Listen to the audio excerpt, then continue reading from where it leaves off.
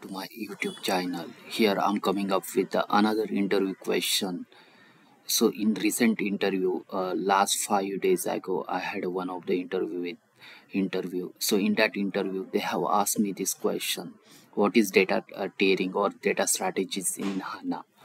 So when it comes to data tiering, means like then data is divided into three types of data: hot data, warm data, and cold data so when we are talking about dividation of this data so basically few points are we are ensuring uh, how, uh, how sensitive that data is. And second is where we are going to store that data. So on a basis of those points we are classif- classifying the data.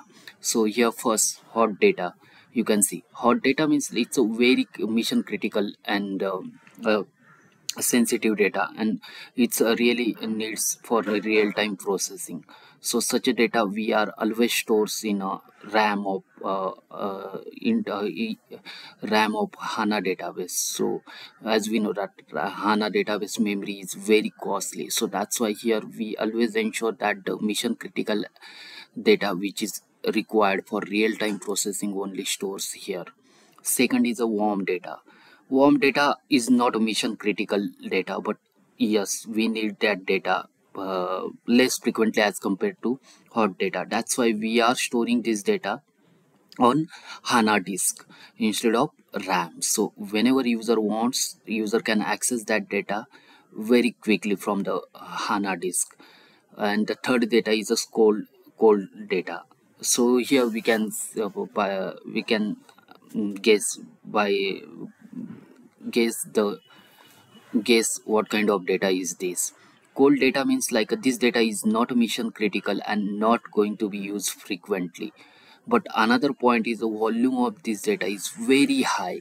So like we are having data from like like last 20 years. And for sure we are not going to use whole 20 years data. We are only going to use last 5 years or 6 years data. So instead of st- storing whole data on uh, hana disk we are storing uh, uh, uh, means like uh, some of the data like uh, for last 10 years data on other storage. So those sto- storage are uh, like sap standard nls storage or other third party storage like big data hadoop. So while storing this data we are always ensure that the connection between our sap system and that this third party system is always established so the whenever so that whenever we wanted to access cold data we can access in no time. So this is the about the data tiering in hana. So in next slide i will show you where this data is going to be stored. Here you can see on screen hot data. Hot data always stores in a persistent memory memory. Warm data you can see. Native storage means like uh, it's a hana disk only and uh, cold data you can see there are uh, different types of uh, systems like ANLS is standard for BW uh, other uh, storage system like a Spark controller controller Hadoop SAP IQ so on a, such a third party systems we are storing cold data. That's all about the uh, data tiering in HANA. If you like this video please hit like button and subscribe to my channel. Thank you for watching. Have a nice